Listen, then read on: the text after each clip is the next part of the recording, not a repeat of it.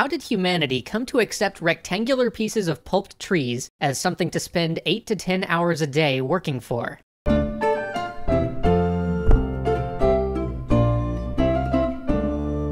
It's a pretty insane story. This change from hard currency like gold or silver is a really huge deal. Without it, we couldn't possibly have the massive industrial and post industrial economies we know today. This change revolutionized how we do business and forever altered how governments were financed. Learning about this massive sea change in how we as a species thought about money can help us reflect on our current historical shift from seeing paper as money to seeing bits, seeing digital ones and zeros as money.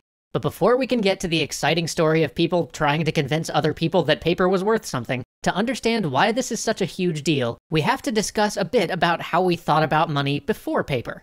If we go way back to the beginning of society, we find trade. Before early humans even really settled down, there's evidence that when we met, we exchanged things we had made or things we'd found. But as soon as humans started to cultivate the earth and form societies, we started to specialize, and that meant that we not only loved to trade, we had to.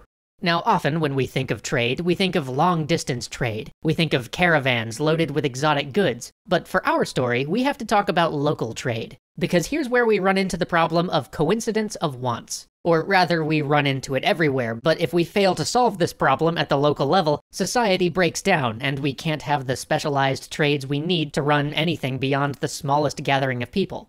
So, what is a coincidence of wants?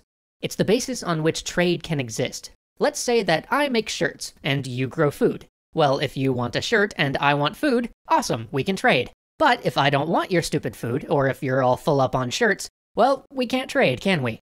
And that starts becoming a real problem for society if I want food but you don't want my shirts. Maybe I can find somebody with some third good that you do want, but that means that a lot of time is consumed by trading, and if I can't find some other good you want to trade for, well, there's gonna be trouble. And this problem runs even deeper than we sometimes think about when you consider the lack of refrigeration and transportation. Imagine I'm a fisherman and you're a farmer, and let's say that we want to trade. Well, there's this problem. Your harvest only comes in once a year. I can't trade you for a harvest you don't have yet, and all of those extra fish I caught today are going to be pretty rotten by the time your harvest comes in. And while this may seem like a very specific example, trade for food was probably the most prevalent trade of the ancient world. So we need to find a third good that we both want that we can trade for. But wouldn't it be convenient if there was some universal third good which everybody wanted and would trade for, so we didn't have to do some long chain of bartering every time we wanted something? Enter money. All money is, is a third good that doesn't spoil and that we all agree has value, thus becoming a unit of exchange, an intermediary good by which all other goods can be traded. And while we often think of coins made of precious metals for this purpose, the truth is, so long as it's durable enough and hard enough to procure, anything can serve as money. Tangent time. Turns out we have used a lot of weird stuff as money over our history. For example, cattle have often served as money. I mean, they're fairly durable, they last for years, they're practical, and they're reasonably scarce. When Europeans arrived in the Americas, alcohol often served as currency. You could literally drink your paycheck. Cigarettes have often become money of prisons and POW camps. Back in ancient China, money in the shape of tools and then knives became some of the first examples of precious metal money. And, my personal favorite, on the island of Yap, gigantic limestone donuts serve as money. They are so huge that once they are brought to the island, no one even moves them. They just remember who owns which ones. In fact, all of these stones had to be quarried off island because there's no naturally occurring limestone on Yap.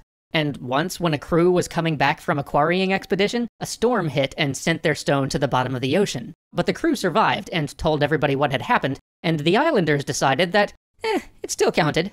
So, to this day, somebody owns that giant piece of stone money at the bottom of the sea. And even though it's not really in use today, for hundreds of years that stone was used to buy and sell things, even though no one had ever seen it. Giving Yap, in some ways, one of the most forward thinking monetary systems before the modern era. But if we want to talk about the king of them all, the form of money that has been used the longest and over the widest expanse of the globe, we have to talk about one thing. Nope, not gold, although in fairness, that's what I would have guessed too. Nope, it's the cowrie shell. It's durable, impossible to counterfeit, and without modern harvesting techniques, it's not so easy to acquire that inflation will run rampant. Anyway, tangent over, back on target. We have lots of different possible types of pre modern money, including the gold and silver coins that we so often think of when we think of money of the past. But all of these different types of money have one thing in common. They are what we call commodity money, because their value is in the commodity themselves. Even cowries were seen as rare and beautiful and could be used for jewelry and the like, and so were thought of as having intrinsic value, the same way we feel gold has an intrinsic value for its scarcity and its uses. Now that makes a lot of sense for a currency. It feels secure and reasonable. You can trust to the worth of that gold coin in your hand. I mean, after all, if you're used to trading one thing for another, why would you ever trade something valuable like a horse for something worthless like a pile of paper? But for gold or for cowries, well, that's another story. But when your economy grows, this system starts showing some of its limits. For one thing, commodity money is heavy. If you're doing massive deals, it gets really hard to transport, and it's risky to transport across lawless lands. Commodity money is also often subject to debasing, where somebody, usually the person who should be responsible for making sure the currency maintains its value, waters down the whiskey or takes a gold coin, melts it down, and reforges it with a bit less gold in it, and passes it off as worth the same amount. But more than anything, when you get to gigantic economies, the very scarcity that makes commodity money seem to have value becomes your enemy. Like, let's take gold and silver. What happens when your economy grows to the point where you just can't get enough of it? We actually saw the effects of this in our episode on the Opium Wars, where so much English silver was ending up in China in exchange for tea, it was actually causing inflation and hampering basic economic transactions at home.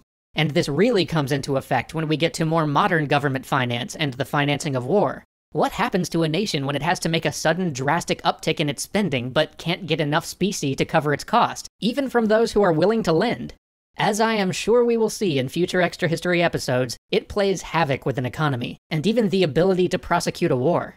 And the reverse of this is true as well. Currencies based on scarcity are often subject to changes in the scarcity of the commodity on which they're based, which can be trouble when somebody finds a lot more of your currency commodity. When Spain started to import massive amounts of silver and gold from the Americas, all the precious metal based currency in Europe started to suffer from inflation. After all, all those gold coins weren't worth nearly as much since somebody had just dumped a huge new pile of gold on European shores. And as a government or even a financial sector, when someone digging up a new pile of minerals means that you can't control your own fiscal policy, eh, that's bad news. But those disadvantages are only easy to see if you're a head of state or working on the largest scale transactions. If you're just some average person in the streets, when some well to do says that they want to take your grain in exchange for this nice slip of. is that paper? Well, you would be forgiven for thinking that you smell a rat. Join us next time as we finally delve into the origins of paper money and start to address this problem of people fearing to give up their outdated gold. Tis the gift to be simple, tis the gift to be free, tis the gift to come down to